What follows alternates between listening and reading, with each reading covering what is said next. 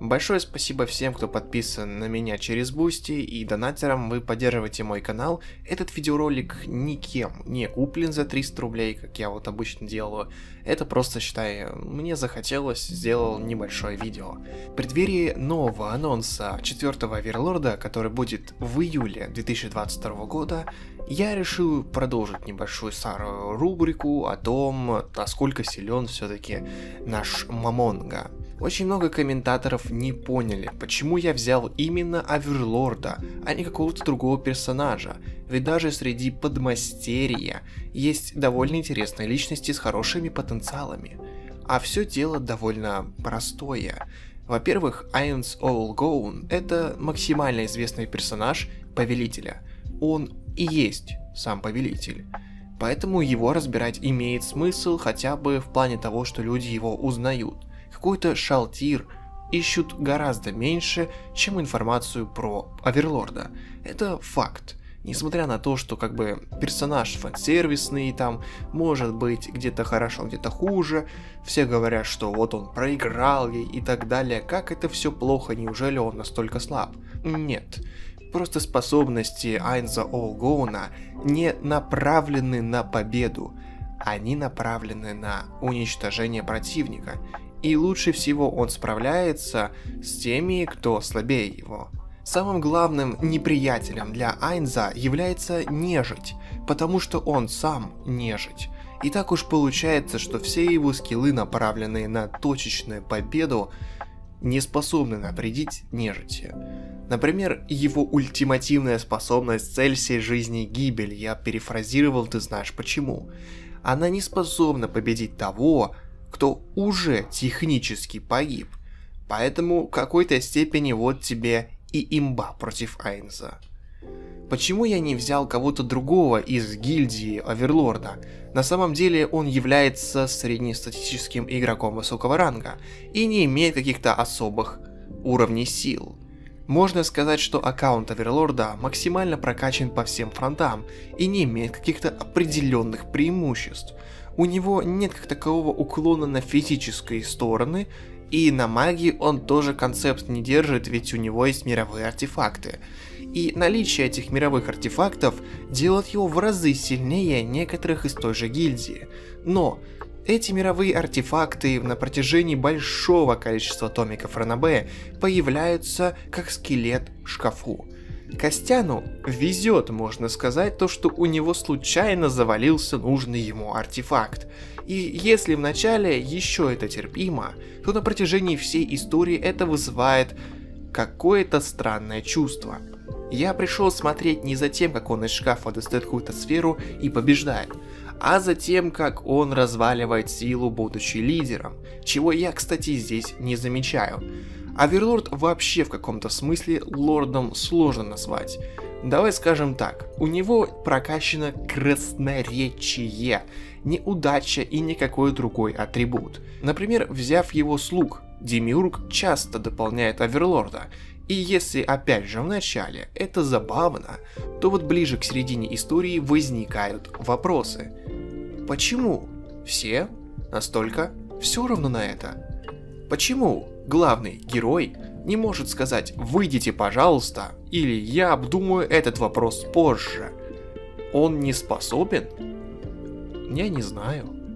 Вот именно такое отношение у меня к Оверлорду.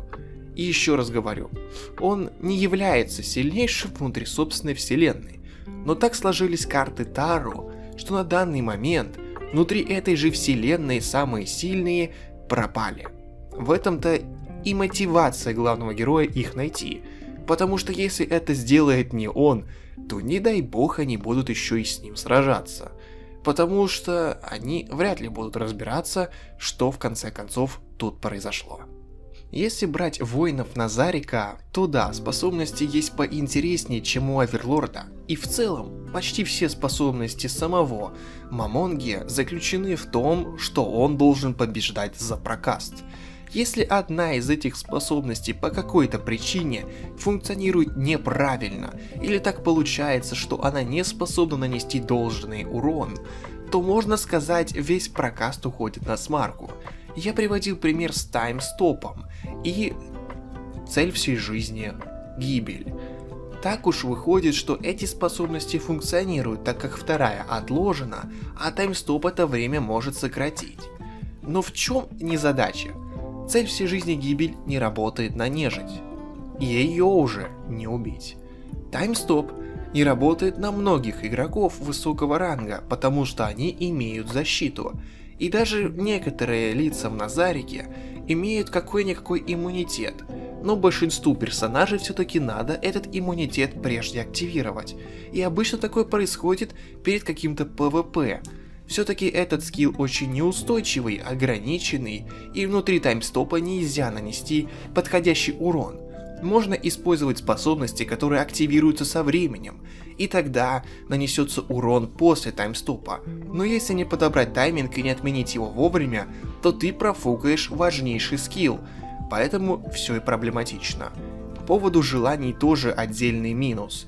Иногда на каст некоторых заклинаний требуется большое количество времени на подготовку, и будь то просто желание за опыт, который до сих пор не до конца раскрыт, или же массовые заклинания, способные уничтожить половину земного шара, на Айнза просто могут напасть.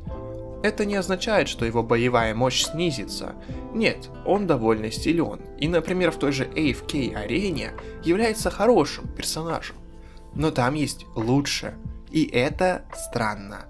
Почему Аверлорд не является Аверлордом?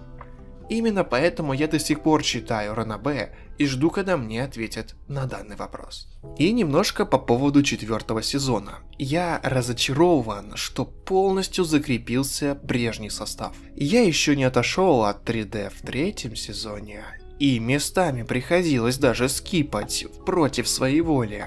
И в четвертом я просто вижу трейлер, и мне неприятно. Я чувствую отвращение. Есть хорошее 3D во многих произведениях, например, в том же Евангелионе.